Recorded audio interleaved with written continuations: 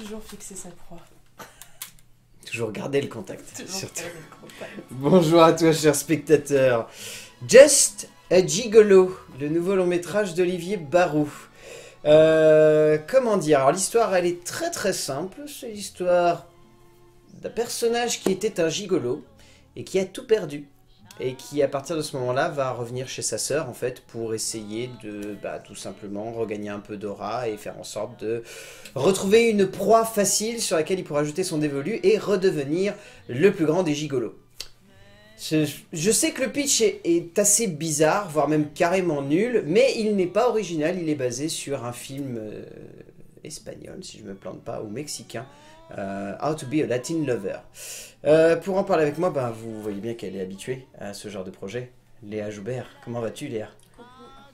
Ça va? Juste un petit truc. hein.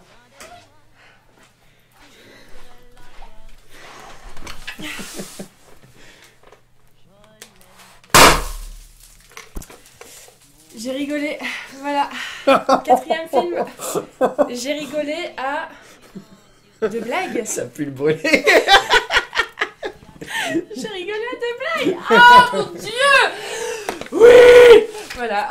Voilà, donc je pense que vous avez compris le contexte dans lequel va se passer cette vidéo. Un contexte festif. Euh, bah, je sais pas du coup si j'ai besoin de résumer en fait le contexte de sortie du film. Euh, Just a Gigolo donc qui débarque juste après les Tuches 3, donc qui était le précédent succès d'Olivier Barou, et du coup il refait équipe en plus avec euh, Cadmerade, donc l'équipe de KDO quand même qui refaisait équipe, ça a redonné vraiment envie de voir ce qu'ils pouvaient faire à deux. Et on se retrouve avec ce film au pitch très bizarre, donc comme je disais, basé sur un autre film qui s'appelle How to be a Latin Lover. Accessoirement, le film est totalement accepté par l'acteur principal du long métrage to be a Latin Lover, qui est carrément le producteur exécutif du film. Et donc voilà. Bon bah, je me tourne tout de suite vers toi, Léa. Qu'est- Qu'est-ce que tu en as pensé de Just a Gigolo, au final? Au-delà des deux instants de rigolade. Ah, J'ai rigolé que deux fois, hein. faut pas non plus euh, pousser ma vie dans les orties. Euh, ça va pour l'instant, Euh, c'est mon numéro 1. Ouais. C'est la moins pire. hein. Vous voyez le niveau numéro quand même. 1 dans le moins pire. Non, non, ça. Personnellement, c'est juste les premières, premières 20 minutes qui m'ont intéressée. La, la suite, après, je me suis un peu ennuyée, je me suis un peu fait chier, je peux vous le dire. Mais euh, voilà, les premières 20 minutes, j'ai rigolé. Et j'ai dit, oh, ça va être un bon film. Bon, après, voilà. Non, ça, ça a été, il y a eu pire.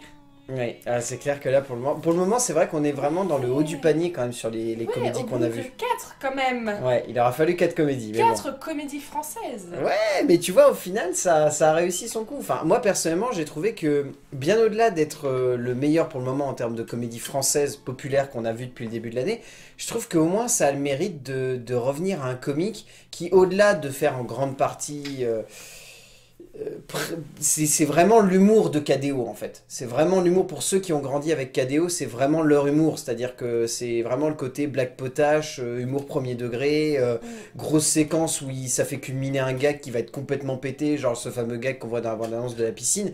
C'est plein de petits trucs comme ça en fait qui sont cumulés. Le seul souci c'est que il y a encore les travers de, de Olivier Barrault qui veut se la jouer euh, comédie avec un sous-texte ou une profondeur émotionnelle. Et alors là, c'est le plus gros souci, c'est qu'on en parlera, mais la Ouais. partie où il y a tout le neveu et toute la relation avec la sœur, c'est c'est clairement la partie qui ne fonctionne pas en fait. Ouais, mais fallait qu'elle y soit. Mais il fallait qu'elle y soit parce que sinon en fait le film se serait pas tenu. Mais non mais c'est bête, sinon Non, le film se serait pas tenu en fait en termes de, de dramaturgie, en termes de, de, de tout en Ouais. fait. Et voilà, c'est... Oui, non, mais... J'ai rigolé à la blague du caca, quoi. Bah non, mais en plus le pire c'est que je vous assure que quand je suis arrivé dans la salle et que j'ai vu cette séquence-là, j'ai fait « Oh Celle-là elle va rigoler Celle-là elle va rigoler la blague du caca. mon Dieu. !» Et je m'en doutais en plus que t'allais te marrer celle-là. Mais... Mais sais, ouais. dans la salle, il fait, c'est la blague qui est dans le, la bande-annonce. euh, genre, Oui. il saute dans la piscine, il y a une trace marron, il y a un mec qui fait Mais il a chié. Ça. Sais C'est de la merde. Mais c'est de la merde. Et là, j'ai rigolé, je fais Le côté un peu honteux de se dire Oh merde, putain, j'ai oh, j'ai rigolé Oh, à ça. c'était drôle, mais j'ai rigolé au caca. Bah non, mais c'est parce que la scène, comme je disais, c'est- c'est c'est un gag et, c'est- Ouais. et ça monte bien. Mm. Ça monte en crescendo. Ouais, non, c'était cool. Bon, je te propose qu'on grimpe tout de suite dans tout ce qui est scénario, mise en scène, Ouais, etc. Euh, en termes de scénario, donc, c'est pour moi ce qui fait la plus grande force du film, c'est que c'est écrit par Cadmerade et Olivier Barou. Ouais. C'est vraiment les deux qui ont choisi d'écrire ça. Et ça se voit en fait que c'est leur délire. Ça se voit que c'est vraiment juste une envie de faire une comédie bien potage, bien pétée, bien allumée. Enfin, on sent qu'il y a eu euh, le besoin de faire les tuches de la part d'Olivier Barou. Bon, voilà, toi, je, je sais que je sais ce que tu en penses, mais fondamentalement, les tuches pour moi n'est pas le pire du panier en Non. termes de comédie Non, française non, à l'heure actuelle. Mais c'est juste qu'Olivier Barou a tout le temps eu cette envie, ce, besoin presque qui obnubile sa filmographie de vouloir amener du, de, de la simplicité en fait dans ses histoires. Mm. Et là c'est le souci, c'est qu'en fait, si on se tient aux 20 premières minutes, en termes d'écriture, c'est plutôt culotté je trouve. Parce que c'est vraiment, on va faire grimper un crescendo autour du fait que le mec est un gigolo. Oui, oui. Vraiment ça. Mm. Et ça assume complètement ça. Et ensuite, le fait est que c'est beaucoup plus édulcoré. Ouais. Mais visiblement, de ce que j'ai cru comprendre, c'était leur ambition de base. Ils avaient avoué que dans Hard to Be a Latin Lover, c'était vraiment hardcore. Il y avait des blagues qui étaient euh, rated R, c'était assez sale et euh, Mm. ça osé des choses. Là, non, c'était. non, Voilà, là c'est... Oui, on sent que c'est beaucoup plus Oui. familier. Bah oui. C'est bah, D'où le personnage du neveu qui prend beaucoup plus de place Ouais. que dans Hard to Be a Latin Lover. Ouais. Mais... euh, Parce que euh, c'est équivalent les deux films ou pas? En fait, les, J'ai pas vu. hein, Les deux euh, films ont vraiment la même structure, c'est-à-dire un gigolo Non, qui perd. euh, Ah oui, c'est vraiment un gigolo qui atteint le sommet puis qui se fait la lourder et qui va essayer de retrouver. Il y a un neveu, mais il est beaucoup moins présent en fait dans. Je crois même que c'est une nièce, si j'ai bonne mémoire, dans To Be a Latin Lover. Mais, euh, mais voilà, je trouve que là, ça. Enfin, je sais pas ce que t'en as pensé, toi, mais je trouve que ça se tient après le souci, et là, je pense, je vais te lancer tout de suite là-dessus, c'est que des moments où il y a le neveu, ça devient. C'est. Enfin. J'ai vraiment eu ce ressenti pendant le film. En fait, je me suis dit, quoi, c'est fait, refait. Euh, c'est euh, le moment marrant, le moment des retrouvailles où tout se passe bien, le moment où le mec il merde et toute la famille lui fait la gueule, et le moment des réconciliations. Voilà. C'est. Bah, c'est un schéma hyper classique. C'est un schéma, oui, hyper classique, qui fonctionne hein, à chaque Mmh. fois, parce que si les films continuent à, faire ça, c'est que ça fonctionne. Mais bon, enfin, là, je, je me suis un peu ennuyée, quoi. Ouais, bon, C'est- vu et revu. Oui, c'est ça, c'est pas hyper. euh, C'est pas hyper fin, quoi. Non. On va dire. C'est pas euh, exceptionnel. Mais ça se tient en soi. Il y a aucun ça moment. se tient, mais c'est Moi, fait refait. Tu vois, il y a aucun moment moi, où je me suis dit que le film, il y avait des trucs que je trouvais où. euh, Enfin, j'ai trouvé le film très équilibré en fait de tout son Oui. À aucun moment je me suis épris à regarder ma montre et de me dire oh la vache c'est long, euh, quand est-ce que ça s'arrête? Ah oui. Ah moi je t'avoue que j'ai pas regardé. Toi t'as regardé ta montre ça veut dire. Oui. T'as regardé ta montre quand il y a Moi, eu j'ai le. fait la grosse chose au cinéma avec son téléphone, là, en pleine lumière, dire putain, il est quelle heure? Attends, je vois pas très bien. comme ça. tu sais, qui fait chier tout le monde autour. Ah yes, ce genre de personne Mais qu'on si aime. à un moment je me suis posé la question, je fais ouais, il reste combien de temps là? Parce que non, je, je- Bah après, je peux comprendre suis parce que, comme tu le dis, c'est vrai que c'est un schéma qui est très classique, voire Oui. trop classique. Et pour moi, c'est- c'est c'est le plus gros souci qu'a Olivier Barou dans tous ses films. Que vous regardiez Les Tuches, que vous regardiez autres films, à chaque fois, il se sent obligé à un moment de ramener son récit dans quelque chose de classique. Et là, le souci, c'est que. Au-delà de ces 20 premières minutes qu'on n'arrête pas d'évoquer comme étant vraiment réussies, parce qu'en fait ces 20 minutes sont symptomatiques d'un cinéma qui a envie de tenter quelque chose ouais. qui pendant euh, son début nous dit euh, allez je vais vous proposer vraiment un parti pris enfin la scène d'intro déjà ça fait vraiment Ouais. film à gros budget moi Ouais. j'ai vraiment euh, j'ai vraiment adoré dès qu'on passe ça il y a cette scène sur la piscine qui est vraiment cool Mm, ensuite on a le début de la relation avec sa petite vieille qui est vraiment cool aussi. Et ensuite dès le moment où il se fait virer et où il retourne chez sa sœur c'est là où on se dit c'est- classique. Ouais. et on voit les Mais d'un autre côté, je me dis, s'il aurait pas fait ça, qu'est-ce qu'il aurait pu faire? Ben, il aurait pu. Bon, après, on peut s'amuser à jouer les pseudo-scénaristes à la con, mais euh, en soi, il Non, aurait pu imaginer plein d'autres trucs. Il aurait pu imaginer des retournements. Tu vois, il aurait pu imaginer qu'il reste un petit peu plus longtemps chez son copain gigolo et qu'il y ait peut-être limite une dualité avec euh, la vieille. Enfin, alors que ça arrive à la fin au final. Oui, non, non, mais, Mais je on veux dire, aurait- c'est que je, je vois pas autre chose que ça non plus, quoi. Oui, c'est vrai qu'on n'imagine pas forcément une dramaturgie plus non, complexe ou. Enfin, en même temps, c'est le genre de comédie populaire où à la fin tu te dis bon bah c'est sympa, Ouais. c'est sans plus, mais au moins ça a fait le Tout taf le quoi. monde se retrouve, tout le monde est content, tout le Voilà, monde est heureux. c'est ça. comme- En comme en termes d'écriture, ça n'est pas bien compliqué, mais ça fait le taf. Oui, voilà. Voilà, ça fait le taf. En termes de mise en scène, bon, c'est pas, c'est pas extraordinaire, quoi. Mais ça fait le taf. C'est pas fifou. Bah en fait, c'est- en fait c'est ça. Vous vous rendez compte quand même à quel point on en est C'est-à-dire que là où les dernières fois on était vraiment c'est de la merde, c'est à chier. Là on se dit juste c'est pas fifou, Ouais. mais, ça, nous truc, ça euh. nous embarque quoi. Enfin, Ouais. je veux dire les Ouais, gags, t'es pas non plus. hein. les moi personnellement ça m'a embarqué. Mais je trouve que les, les gags du coup ressortent vraiment en termes de mise en Oui. scène. Enfin, la, la moi je me suis vraiment épris à être mort de rire durant les séquences où il y a Just an Illusion de Imagination où le mec il est en slip, il débarque à la piscine, mais c'est tellement Ça, con. c'est parce que Valentin est beauf. Mais c'est tellement con, mais c'est drôle. Mais je suis désolé, mais c'est tellement con, mais c'est drôle. C'est drôle du coup. je, oui, je dois peut-être avoir un humour de beauf dans ce genre de moment, j'en sais rien. non, mais je suis d'accord avec toi. Peut-être avoir un humour de beauf, mais ça m'entraîne, moi. Non, je trouve mais ça. Oui, je, je vois ce que tu veux dire. Je trouve ça fun, c'est, enfin, tu vois, c'est tellement, enfin, je suis... cette séquence d'introduction, moi, m'a vraiment fait rire, alors que sur le papier, l'introduction déjà est Mm. très dramatique, Mm. et ensuite le mec, comment il se dit, j'adore cette séquence, tu sais, où il met en scène le gag du magazine, où il sort le magazine et il fait, je vais être comme, comme lui, Ah oui, et où il fait, ouais, mais regarde, il est vieux, et puis euh, la pépette, non, pas lui, elle. elle. non, mais c'est vrai qu'il y a, il y a des petites blagues. Bah, y a- en fait, bien, c'est là qu'on retrouve le côté vraiment Olivier Barou qui veut mettre en scène du sketch, c'est-à-dire que euh, Ouais. C'est- comme les trucs à la con ou des tuches où genre c'est euh, on, on, on peut euh, on peut on peut perdre ses clés une fois. Mm. Ok, on peut perdre ses clés deux fois. Ok, on peut perdre ses clés trois. C'est ces trucs là, c'est des gags qui arrivent à être constructifs, ils arrêtent à- qui sont simples, Mm. mais qui du coup toi en tant que spectateur t'arrives à les identifier et à te dire ok c'est débile, c'est Mm. vraiment con. Pourquoi? Pas Pourquoi pas? Non mais oui, Pourquoi pas?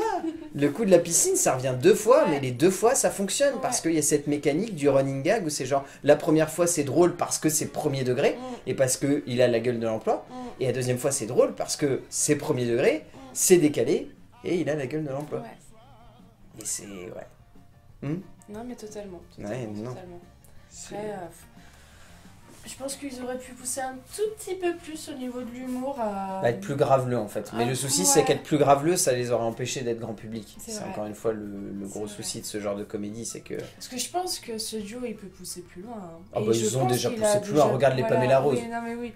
Et, mais euh, c'est vrai, Pamela Rose, j'avais bien aimé. Enfin, j'avais bien aimé. Bah c'était bah, c'était extrême dans les gags, c'est-à-dire que ça osait des trucs qui aujourd'hui bah, seraient plus Et forcément. Ils sont, ils sont vraiment faits pour ça. Enfin, moi, je, je trouve que duo est vraiment fait pour ça. Bon en termes de casting, je pense que c'est le point sur lequel on va être le plus d'accord que ça fonctionne, mais genre vraiment que ça fonctionne bien. Non? Tu trouves qu'il y a des acteurs qui marchent pas? Oh non, non, non, ils sont tous. euh, Bah ouais, ils ont tous la gueule dans. Allez, il y a peut-être il y a peut-être Anne Charrier dans le rôle de la sœur qui en fait peut-être un petit chouïa trop. En fait peut-être un petit chouïa Ouais, peut-être. Mais euh, je me suis dit, le gosse, il joue vachement bien. Ouais, Léopold. Moati, il a, Non, il a un petit vraiment. truc. Parce que des fois, les enfants, euh, dans les films, c'est un peu. Voilà, on voit. Surtout que... les comédies. Surtout les comédies. On voit que les, les gosses, euh, c'est normal en même temps, hein, ils ont un peu de mal, et ils surjouent peut-être un peu, ils font. Que là, non, il a. Il, il était vraiment bien. Ouais, non, non, il est bien. Il était vraiment bien. un bon Ça m'a même étonné. Je me suis dit, waouh. C'est un bon petit gars. C'est un bon petit gars, il ira Ça, loin. Il ira loin, lui. Ouais. Non, Euh, moi, je tiens à signer. Qu'est-ce qu'il y a? Qu'est-ce qui t'arrive? Je l'ai vu. Je me suis dit, non, il sera pas dans ce film. Oui, j'ai un énorme problème avec Thierry Lhermitte. Ah, J'étais- tu m'as fait peur. Et là, je l'ai vu et j'étais. Oh non T'aimes pas Thierry Lhermitte Non, mais j'ai horreur de Thierry Lhermitte. je, je, je crois que c'est c'est l'homme le. Ouais. Bon, bon bah, on- vous aurez compris à mon avis l'acteur qui, je pense, a déplu à Léa. Euh, Pascal Elbé dans le rôle de Daniel, le pote gigolo, moi j'ai trouvé plutôt pas mal. Pas mal. Tout comme euh, Annie Dupéret qui joue Samantha, le- la petite vieux que, qui veulent tous les deux se taper euh, et qui chauffe à moitié Oui, Alex. Oui, bon, Elle a- elle a on une bonne tête. beaucoup, hein. Après, il n'y a pas forcément beaucoup d'acteurs secondaires qui fonctionnent plus que Oh, ça. je regarde sur le portable, je connais pas les noms. Lionel Abelanski et Guy oh. Lecuise Ouais, pff, pas extra. Et mais ils sont- ils ont des gueules, ils ont des gueules, Non, mais- non, c'est sûr, hein, ils, sont, ils sont bons, mais là, je voyais pas trop. Ouais, c'est ça, c'est ça, mais C'est histoire de quoi. ouais, c'est vraiment Mais, histoire de. euh, Par contre, moi, j'adore Cadmeral. Alors là, pour ce film, moi, je suis. Enfin, je sais que c'est pas forcément un acteur pour qui j'ai toujours clamé mon Oui, amour, ouais. où j'ai souvent trouvé. Mais alors là, franchement, oh, qu'est-ce qu'il est drôle, putain. Il a une gueule, madame. Il a une gueule. Oh là là, mais ça passe tellement Oh là bien, là. Ça passe tellement bien. Mais tout le long du film, je disais, mais coupe tes cheveux. Et tu vois, par exemple, une séquence dont, dont ils arrêtent pas de parler, le blanchissage d'anus. Oui. Elle m'a fait mourir de rire parce que la musique, le retournement de situation où il se retourne et il regarde tout le monde, t'as tout le monde. Ça, c'est c'est vraiment parce que t'es un beauf. hein, tu- Mais je suis un beauf, mais je suis désolé, cette séquence-là, elle m'a fait mourir de rire. La petite musique classique avec lui Non, qui se retourne, oui. qui fait euh, et Oh. tout le monde. Non, c'est vrai que c'était pas mal. Mais ouais, Cadmerat qui a fait euh, des films médiocres. Ah bah, qui a euh, fait des films vraiment médiocres depuis quelques années Et quand même. euh, là, ouais, j'ai Ouais, bien, ça fait du bien, quand même de le revoir. Mais Ouais. parce que tu sens qu'Olivier Barou et lui, ils ont une Ah, vraie. mais ils ont, une Ils ont quelque chose. hein. Ils ont quelque chose et du coup Ils ça. sont connectés. Ils sont connectés. Comme les petits doigts. Mais, euh, mais euh, non, non, ils sont connectés. Là, ouais, je. Ça rend bien. Et, euh, il aura pas un, un Oscar ou quoi Ah non, non, soit, non, de toute façon, euh, ça. De toute façon, j'ai peine à croire que ce film arrive à rencontrer le succès parce que j'ai peur que le non. titre et le manque de visibilité qu'aura le long métrage, contrairement aux tuches. C'est ce que je disais Ça. à Valentin. Moi, j'avais honte hein, au guichet du cinéma. Euh, je vais voir. euh, Just a G. Just a Juste, G. juste quoi déjà Gigolo C'est vrai que le titre du film. Ah, c'est vrai que le euh, titre du film donne pas forcément envie, et puis je pense que la plupart des parents qui ont aimé les tuches vont se dire Oh là, ça c'est leur partie adulte, ça Mm. va être compliqué de Mm. traîner mon gosse voir ça. Mm. Honnêtement, euh, Je vois pas les gosses regarder ça. je- bah, moi honnêtement, je, je, bon, je pense qu'on va partir sur la conclusion dans ce cas-là, et je me permets d'introduire, ensuite je te laisserai conclure. Je pense que honnêtement, c'est pas le genre de film qui sur le papier peut donner envie à la famille, mais j'ai presque envie de dire pourquoi pas, moi étonnamment. Je trouve pas que ça soit un film qui soit. Bah ouais, honnêtement, il y a peut-être le côté, ça va être compliqué d'expliquer à un gamin ce que c'est qu'un gigolo et arriver à justifier le fait que. Mais honnêtement, tu regardes, il y a pas de sexe dans le film, il y a à peine une évocation de ce qu'est un gigolo, franchement. C'est genre un gigolo, c'est quelqu'un qui profite de la fortune d'une vieille. Mm. Euh. Ouais. Alors, euh, regardez American Gigolo avec Richard Gere, on en reparle après, parce que là, dans le genre hardcore, c'est hardcore. Mais Rien à voir. Rien à voir, voilà. voir, mais si vous voulez du gigolo, mais voilà. Mais je pense qu'honnêtement, ce film-là peut avoir une vocation d'être un film qui peut conquérir un grand public, et je pense que des gamins vont pas être choqués plus que ça devant le film. Peut-être que les parents après ils vont galérer à expliquer ce qu'est un gigolo, mais le film arrive à donner une définition qui est plutôt édulcorée et qui arrive à faire en sorte que le long métrage soit plutôt bah, vraiment familial. Mm. Je sais que le titre voilà est un petit peu réticent, Je mais pense que c'est ouais, plus, le, plus le, le choix du titre. voilà, c'est ça. Moi, si on me dit que ça ne fonctionne pas, je... enfin, c'est qu'il n'y a pas beaucoup d'entrées en salle ou qu'il n'y a pas. Ça serait pas si étonnant que ça. Ça serait vraiment, ça serait pas le film en soi, ça serait plus le titre. Après, Ouais. malheureusement, voilà, c'est, euh, on peut pas, on peut pas y faire Mais toi, t'en mais- gardes quoi du coup, euh, du coup de Just a Gigolo? C'est bon, on a compris, c'est la meilleure comédie parmi celles qu'on a vues pour le moment. J'ai rigolé deux fois. Voilà. c'est la conclusion de Léa Joubert. J'ai rigolé deux fois. C'est pas tous les jours que ils rigolent déjà. Hein? Moi je rigole pas beaucoup dans ma vie. Euh, Alors là, si je rigole pour du caca, et c'était quoi la deuxième fois Je sais plus. euh. Et pour Non, le blanchissage d'anus. Je pense que la deuxième fois, c'était le mec à côté de moi, il avait rigolé, ça m'avait fait rire. Alors, euh, J'avoue, j'ai peut-être un peu triché.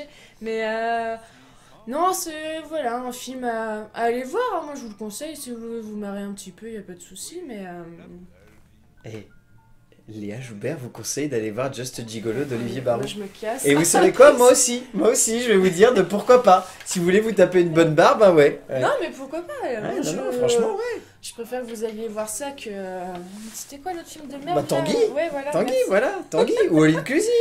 Non, il est plus en salle, lui, c'est bon. Ouais, non, non, c'est bon, il est plus en salle, hein. t'inquiète pas. Il a fait un flop. Et je t'a- je t'annonce ici officiellement, All Inclusive a été un énorme four. Et c'est possible que Fabio Tinente et Franck Dubos ne puissent plus faire de films ensemble. Mais il est plus en salle, Il est plus en salle. rassurez. Ouais, voilà. Bon, Léa. Je me suis mal, c'est bon. J'aurais pas dormi. J'aurais fait des cauchemars. Non, des cauchemars. non, il est encore en salle. Bon, Léa, je ne te dis pas tout de suite. En termes Ah de comédie, Euh, on va avoir je- un petit peu de temps de repos. Je reviens dans hum, un an, Ouais, un an et demi. ouais. Je ne sais pas, honnêtement, je ne sais pas dans, quoi- dans combien de temps tu vas revenir parce que la prochaine comédie française pour le moment n'a pas été annoncée officiellement. Oh bah il y aura peut-être un Aladdin 3. Euh, non, pas encore. Pas encore. Mais, 2. mais promis, j'espère qu'on aura un Kev Adams quand même à chroniquer cette année ensemble parce que je pense que ça sera très Ah, drôle. Je sais que tu regrettes d'avance. Il est un peu BG quand même. Ouais, alors, mais euh, justement, je pense que ça va être hein. très drôle. Je pense que ça sera très drôle s'il y a un petit Kev Adams à chroniquer. Bon, Pourquoi pas? D'ici là, on va dire aux gens d'aller voir des films, parce que c'est bien d'aller voir des films, Oui. surtout quand finalement ils nous surprennent malgré un concept Non, complètement pourri. euh, Et il nous a quand même surpris Non, celui-là. non, mais descendons un peu de nos chevaux Bon, là. allez, descendons de euh, nos chevaux. pas- Ça reste une comédie Ça française. reste une comédie française. Voilà. Mais on se retrouvera quand même pour parler de films, évidemment. Et Léa, bah, je te dis un de ces quatre parce que ça n'est pas tout de suite, mais Yeah, Je vais peut-être bientôt. nettoyer ma merde là. Tu vas nettoyer tes confettis. Allez, à plus. Salut Allez, passons au nettoyage des confettis. Ça va être drôle. Oh merde. But he ain't it.